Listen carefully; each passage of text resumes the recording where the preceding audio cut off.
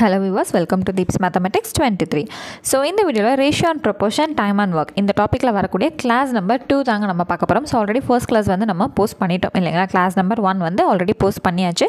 So இப்போ தான் நம்மளோட சேனல் ஃபர்ஸ்ட் டைம் பார்க்குறீங்க அப்படின்னா ப்ரீவியஸாக போஸ்ட் பண்ண கிளாஸஸ் எல்லாமே வந்து one twenty days maths batch அப்படிங்கிற பிளேலிஸ்ட்டில் வந்து உங்களுக்கு இருக்கும். நீங்கள் செக் பண்ணி பார்த்துக்கலாம். ஸோ உங்களுக்கு நம்மளோட சேனலில் நடந்துட்டு டெஸ்ட் பேட்சில் ஜாயின் பண்ணணுன்ற இன்ட்ரெஸ்ட் இருந்துச்சு அப்படின்னா டிஸ்கிரிப்ஷனில் இருக்கக்கூடிய வாட்ஸ்அப் நம்பர் எடுத்துக்கோங்க. டீட்டெயில்ஸ் கேட்டு தாராளமாக நீங்களும் ஜாயின் பண்ணிக்கலாம். ஓகேங்களா ஸோ இன்றைக்கி கிளாஸ் நம்பர் டூவில் இருக்கக்கூடிய முதல் சம் வந்து பார்த்தலாமா ஸோ ஆல்ரெடி ப்ரீவியஸ் கிளாஸில் நம்ம என்னங்க பார்த்தோம்? த்ரீ பாயிண்ட் ஒன் அப்படிங்கிற எக்ஸசைஸ்க்கான எக்ஸாம்பிளும் எக்ஸசைஸ் சம்ஸ் ஃபுல்லாக வந்து நம்ம கம்ப்ளீட் பண்ணிட்டோம். ஸோ ரொம்பவே சிம்பிளாக இருந்துச்சு இல்லைங்களா? ஸோ அதை ஃபாலோ பண்ணி அடுத்த ஒரு மெத்தட் ஸோ இப்போ நம்ம பார்க்க போகிற மெத்தட் வந்து ரொம்ப ரொம்ப ரொம்ப ரொம்ப இம்பார்ட்டன்ங்க இந்த மெத்தட் தான் நமக்கு அடிக்கடி ப்ரீவியஸாக கொஷின் எல்லாத்துலேயுமே வந்து ப்ளேஸ் ஆகிட்டுருக்கு ஓகேங்களா எல்லாம் ஓகேங்க. ஸ்கூல் புக்கில் இது எந்த ஸ்டாண்டர்டில் இருக்குது எந்த கிளாஸுங்க இது அப்படின்னு கேட்டிங்கன்னா மேக்ஸில் so sixth standard term one third சாப்டரில் இது இருக்குது ஓகேங்களா? அப்போது எக்ஸைஸ் த்ரீ பாயிண்ட் டூக்கான எக்ஸாம்பிளும் அந்த எக்ஸைஸமும் நமக்கு தேவையான கணக்குகள் மட்டும் நம்ம தெரிஞ்சுக்க போகிறோம் ஓகேங்களா? So example three point five குமரனிடம் ரூபாய் அறநூறு உள்ளது. அதனை விமலா மற்றும் யாழினிக்கு இடையில் இரண்டு ச இஸ்டு மூணு என்ற விகிதத்தில் பகிர்ந்து அளித்துள்ளார் இருவரில் யாருக்கு அதிகமாக கிடைக்கும்? எவ்வளவு? Kumaran has six hundred rupees and wants to divide it between Vimala and Yazhini இந்த ratio two is to three who will get more and how much so Kumaran அப்படிங்கிறவர்கிட்ட ஒரு அறுநூறுபா காசு வந்து இருக்குங்க அதை இந்த ரெண்டு பேருக்கு பிரித்து கொடுக்கணும். அது எந்த ரேஷியோவில் ரெண்டு இஸ்ட் மூணுங்கிற ரேஷியோவில் பிரித்து கொடுக்குறாரு. அப்போ யாருக்கு அதிகமாக கிடைக்கும்? எவ்வளவு வந்து கிடைச்சிருக்கு அப்படிங்கிறத இப்போ நம்ம சொல்ல போகிறோம் ஸோ பார்த்தாலே தெரியுதுங்க. ரெண்டு இஸ்ட் மூணா மூணு தாங்க பெருசு. அப்போ யாழினி தானங்க? அப்படிலாம் கிடையாது. நம்பரோட நம்ம சொல்லணும் இல்லைங்களா? அப்போ என்ன பண்ணணும்? ப்ரொசீட் பண்ணி தான் ஆகணும். முதல் ரெண்டு இஸ்ட்டு மூணுனா மொத்தமாக எத்தனை பங்குன்னு தெரிஞ்சுக்கணும். இங்கே ரெண்டு பங்கு இங்கே மூணு பங்குனா மொத்தமாக எத்தனை பங்கு? அஞ்சு பங்கு இருக்குது சரிங்களா? அப்போ ஒரு பங்குக்கான மதிப்பு தெரிஞ்சிச்சு அப்படின்னா ஈஸியாக என்ன பண்ணிடலாம்? ரெண்டு பங்குக்கு எவ்வளோ மூணு பங்குக்கு எவ்வளோ நம்ம சொல்லிடலாமா? அப்போது என்ன பண்ணணும்? அந்த ஆறுநூறு ரூபாயை மொத்தமாக அஞ்சு பங்கு இருக்கா? அஞ்சு பங்கால் வகுத்துட்டோம் அப்படின்னா அதாவது டிவைட் பண்ணிட்டோம் அப்படின்னா ஒரு பங்குக்கான வேல்யூ நமக்கு தெரிஞ்சிடும் இல்லைங்களா? அப்போ ஈக்குவல்ட்டு இது ரெண்டும் நம்ம டிவைட் பண்ணணும். அவ்வளோதான் ரொம்ப simple one five is five இங்கே ஒன் ஃபைவ் இஸ் ஃபைவ் மிச்சம் ஒன்று two five are ten zero அப்போ ஒரு பங்குக்கான மதிப்பு வந்து எவ்வளவுங்க? நூற்றி இருபது ரூபாய். சரி அப்போது விமலாவுக்கு ரெண்டு பங்கு. அப்போ ரெண்டு இன்ட்டு நூற்றி இருபது. ஒரு பங்கு நூற்றி இருபதுனா அப்போ ரெண்டு பங்கு எவ்வளவு? இரநூத்தி நாற்பது ரூபா. அடுத்தது யாருங்க? யாழினி. யாழினிக்கு எத்தனை பங்கு? மூணு பங்கு இன்ட்டு நூற்றி இருபது ஈக்குவல் டு எவ்வளவு? முந்நூற்றி அறுபது ரூபாய் ஸோ யாருக்குங்க அதிக பங்கு வந்து கிடச்சிருக்கு? யாழினிக்கு தான் அதிக பங்கு கிடச்சிருக்கு. அதிகமான தொகையும் வந்து கிடச்சிருக்கு. ஸோ முந்நூற்றி அறுபது ரூபாய் யாழினியோட தான் இதுக்கான ஆன்சர் ஸோ இதிலேயே இப்படியும் வந்து கேட்கலாம். ஸோ அவங்க ரெண்டு பேத்துக்கும் இருக்கக்கூடிய வித்தியாசம் எவ்வளவு? அப்போது யாழினிக்கு தான் அதிகமாக கிடச்சிருக்குன்னு தெரிஞ்சிருச்சு. அப்போ விமலாவை விட எவ்வளோ அதிகம் கிடச்சிருக்கு? அப்வியஸாக நூற்றி இருபது ரூபா அதிகமாக கிடச்சிருக்கு. ஓகேங்களா முதல் கணக்கு முடிஞ்சிருச்சு. ஸோ அடுத்து பார்த்தீங்கன்னா எக்ஸைஸ் த்ரீ பாயிண்டில் இருக்கக்கூடிய செவன்த் சம் ஸோ அதே டைப் தாங்க இதுவும். ஒரு குடும்பத்தின் மாத செலவுகளில் மளிகைக்கும் காய்கறிகளுக்கும் ஆகும் செலவுகளின் விகிதம் மூணு இஸ்டு ரெண்டு. இவை இரண்டிற்கும் சேர்த்து ஒரு மாதத்திற்கு நாலாயிரம் ஒதுக்கப்பட்டால் மல்லிகை காய்கறி ஆகியவற்றிற்கு ஆகும் செலவு செலவுகளை காண்க.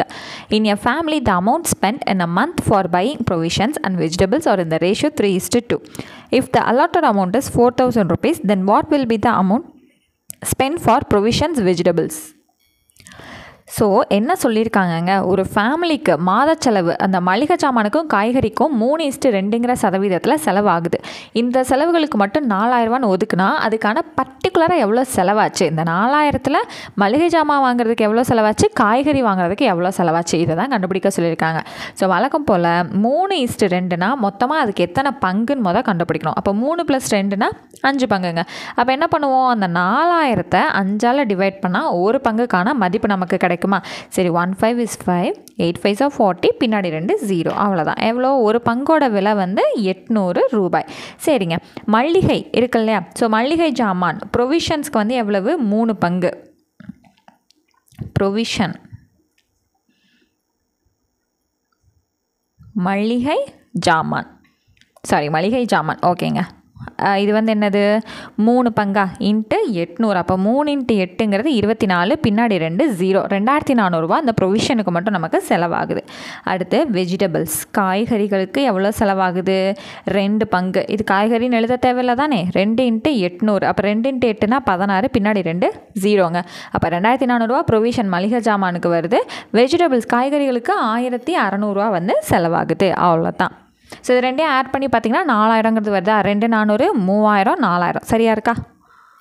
ஸோ அடுத்தது இதே எக்ஸசைஸில் இருக்கக்கூடிய எயித்து சம்ங்க த்ரீ இஸ்டு ஃபோர் என்ற விகிதத்தில் அறுபத்தி மூணு சென்டிமீட்டர் நீளமுள்ள ஒரு கோட்டுத்துண்டு இரண்டாக பிரிக்கப்பட்டால் கிடைக்கும் கோட்டுத்துண்டுகளின் நீளங்களை காண்க.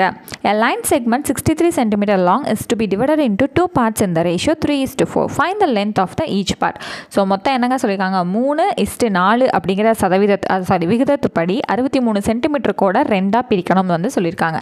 சரி மொத்தம் எத்தனை பங்கு மொதல் மூணு ப்ளஸ் நாலு. எத்தனை பங்கு? ஏழு பங்கு. அப்போ என்ன பண்ணணும்? இந்த அறுபத்தி மூணு டிவைட் பை ஏழுன்னு போட்டால் ஒரு பங்குக்கு மதிப்பு என்னன்னு தெரியும் இல்லைங்களா? அப்போ என்னதுங்க? One seven is seven nine seven sir sixty three வரும். சரி.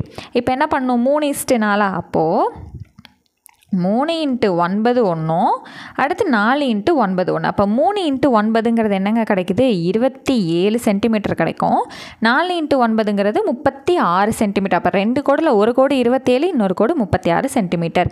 ரெண்டையும் ஆட் பண்ணி பார்த்தீங்கன்னா அறுபத்தி மூணுன்னு கிடைக்கணும். இப்போ ஆறு ஆறு பன்னெண்டாக இருக்கும் ப்ளஸ் ஏழுனா பதிமூணு. இங்கே ஒரு மூணு வரும் இங்கே ஒன்றுங்க ஒன்று ப்ளஸ் ரெண்டு மூணு மூணு மூணு ஆறு. அப்போ அறுபத்தி மூணுங்கிறது சரியாக இருக்கா? அவ்வளோதான் ஸோ அடுத்து வந்து பார்த்தீங்கன்னா கொள்குறிவினால் பன்னிரெண்டாவது கேள்வி மட்டும் நமக்கு தேவை. சரிங்களா?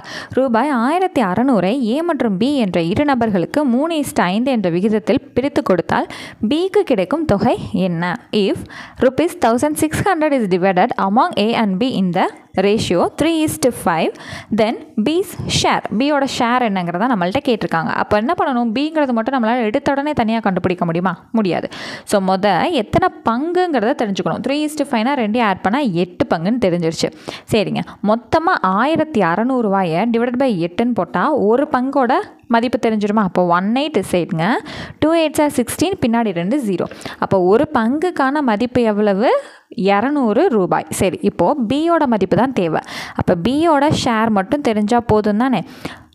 இது ஏவோடது இது பியோடது அப்போ அஞ்சு பங்கு தான் பியோடது அப்போ அஞ்சு இன்ட்டு இரநூறு ஈக்குவல் டு என்னது? ருப்பீஸ் தௌசண்ட் அப்போ ஆப்ஷன் சி தான் நமக்கு சரியானது. இதே ஏவோட பங்கு கொடு- கேளு சாரி சொல்லுங்கள் அப்படின்னு கொடுத்துருந்தாங்கன்னா மூணு இன்ட்டு இரநூறு ஆறுநூறுரூவா ஏவோட பங்குன்னு நம்ம சொல்லியிருக்கணும். ஓகேவா புரிஞ்சுதுங்களா?